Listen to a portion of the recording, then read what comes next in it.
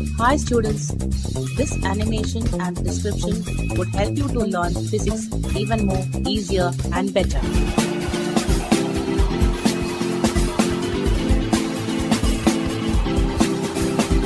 So please do watch it and enjoy learning physics.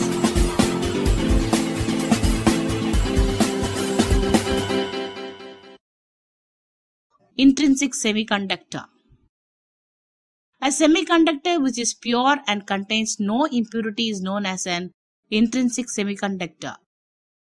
In an intrinsic semiconductor, the number of free electrons and holes are equal. Common examples of intrinsic semiconductors are pure germanium and silicon. The forbidden energy gap is so small that even at ordinary room temperature, there are many electrons which possess sufficient energy to cross the forbidden energy gap and enter into the conduction band.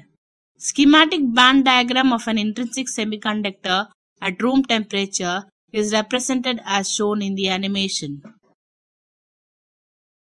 Thank you for watching. Please subscribe this channel for more videos.